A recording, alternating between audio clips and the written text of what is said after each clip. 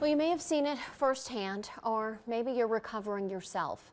The opioid epidemic and the Cleveland Clinic and University hospitals are teaming up to change the deadly trend. Angie Rodriguez has details on how you can get involved.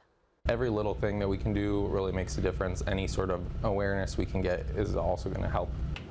Saturday, April 27th is National Prescription Drug Take Back Day, and Cleveland Clinic, along with university hospitals, are taking part. It's really for the betterment of, of all the individuals in the public, so it's a great opportunity for us to partner. Chief Pharmacy Officer Lindsay Amarine works at the Cleveland Clinic and knows firsthand how important this day really is. National surveys have really shown that uh, the majority of individuals who misuse prescription medications actually obtain them from a family member or a friend, and usually those are within a home medicine cabinet. Just like spring cleaning, both of these doctors recommend the same thing taking a look inside of your medicine cabinet, making sure that there is no unused or expired medicine. And if there is, you can take it back to them on this drug take back day. This day gives everyone the opportunity to toss out tablets, capsules, there are some things that we can't take back, including inhalers, anything that's aerosolized,